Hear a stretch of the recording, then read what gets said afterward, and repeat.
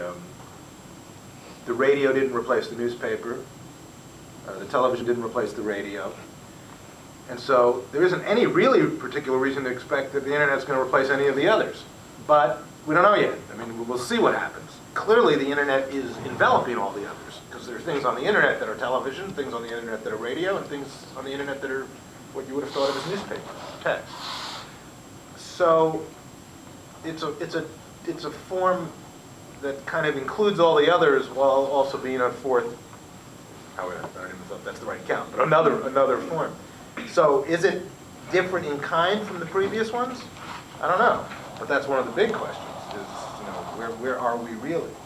Um, And there are obviously examples of mediums that just basically vanished because of new ones. I mean, you guys maybe now don't even remember vinyl records, but, you know, I have. they were, yeah, I have a few at home too, I don't know what to do with them.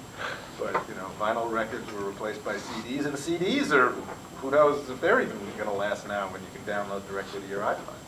So, um, you know, I like those examples less because, um, that's not where I'd like it to come out. You know, I kind of believe that newspapers will be around for a long time. They'll change, they'll become different from what they've been in many ways, but I suspect they'll continue to exist for a long time, side by side with these other forms. Our local daily, the Spokesman Review,